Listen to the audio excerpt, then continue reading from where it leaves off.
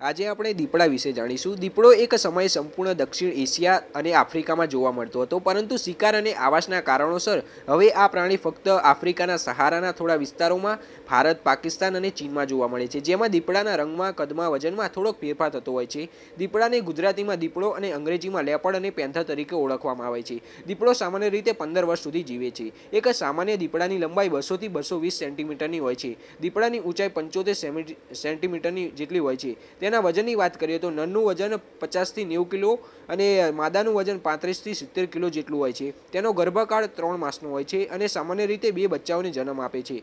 તેના દેખાવને સોનેરી રંગના, શરીર પર કાળા રંગના ગોળાકાર અને પોલા ટપકા હોય છે તેવો હોય છે. ખોરાકમાં તે બધા જ પ્રકારના તૃણાહારી પશુઓ ખોરાકમાં લે છે, જેમાં વાંદરા, હરણ, પક્ષીઓ બધાનો સમાવેશ થાય છે. ગુજરાતમાં તે સામાન્ય રીતે કચ્છના રણ સિવાય તમામ વિસ્તારોમાં જોવા મળે છે. તે સામાન્ય રીતે જાણી ઝાખરાવાળા વિસ્તાર, વગડો અને પહાડી પથ્થરના વિસ્તારોમાં જોવા મળે છે.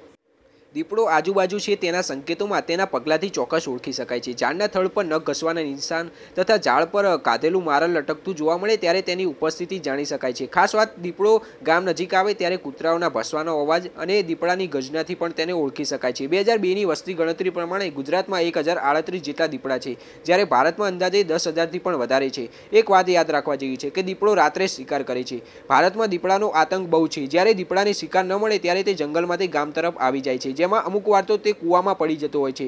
હિમાચલ પ્રદેશના ચાના બગીચાઓમાં અવારનવાર દીપડાઓ આવી જતા હોય છે, જે માટે મોટા વૃક્ષ વૃક્ષો કાપી નાખવામાં આવે છે. દીપડાની ખાસ વાતો જોઈએ તો તે પોતાની રેન્જમાં રાત્રે એકથી પચીસ કિલોમીટર વોકિંગ કરતો હોય છે.